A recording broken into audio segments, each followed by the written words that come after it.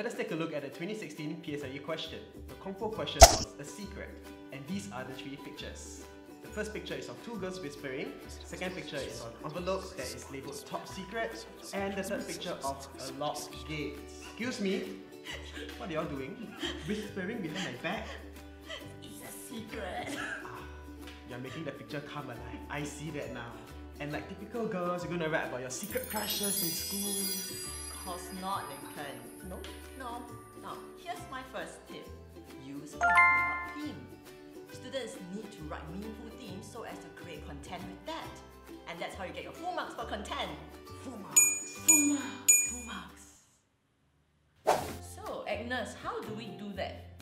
Uh, in this time and age, there can be no such thing as a secret. Hmm? Now, can you remember the picture of the two girls whispering?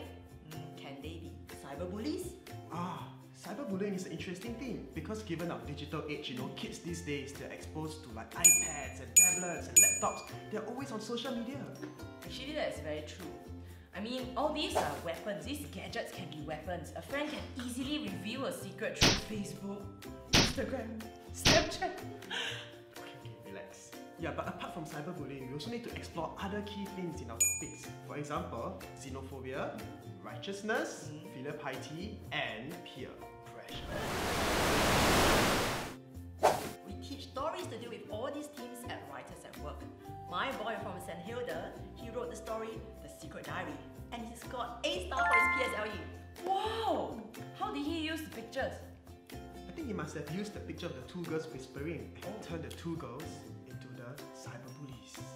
And they took pictures of the protagonist's secret diary and posted it on Facebook. happened to the cyberbullies in the end? Did they get justice? Vengeance! Want to find out more about the secret diary? Click on the link below to read the model compo to find out how my boy from St. Hilda got his A star for PSLE English.